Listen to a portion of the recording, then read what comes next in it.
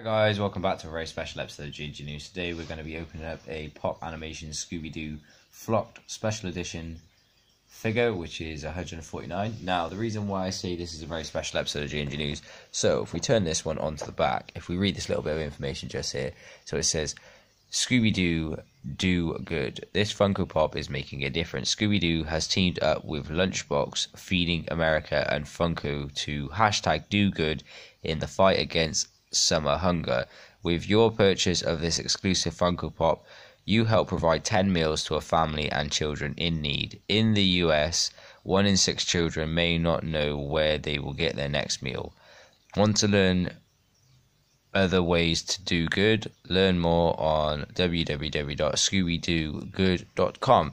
I thought that was really cool that this actually um, essentially raises money for people who can't provide food for themselves via this uh, Lunchbox Foundation. So it says down the bottom here for every exclusive Feed America Scooby Doo Funko Pop sold, Lunchbox will donate 10 meals by, to Feed America between the 7th of the 9th of the 18th to the 2nd of the 2nd 2019 to up to a maximum donation of $14,013. One dollar helps provide at least 10 meals secured by Feeding America on behalf of local members.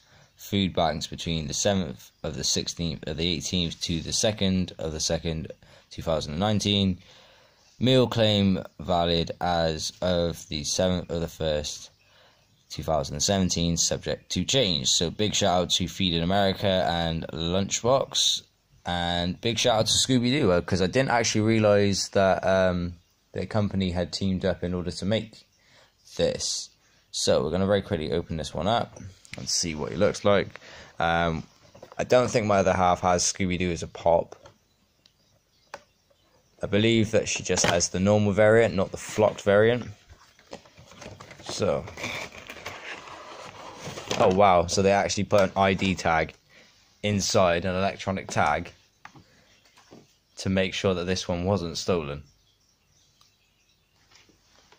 Oh, look at that. Can you take him out? He looks so cool.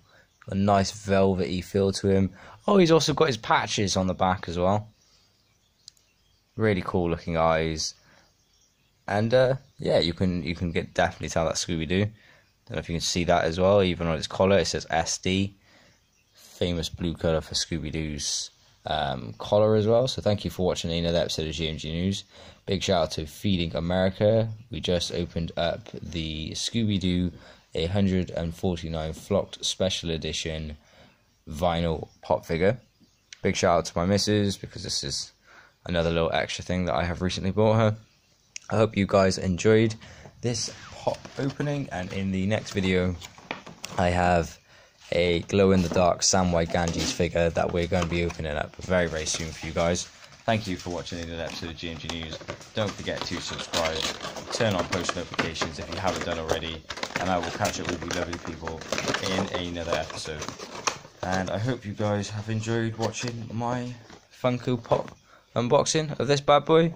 He was purchased at the Entertainer in Taunton, Somerset, the UK. See you all soon.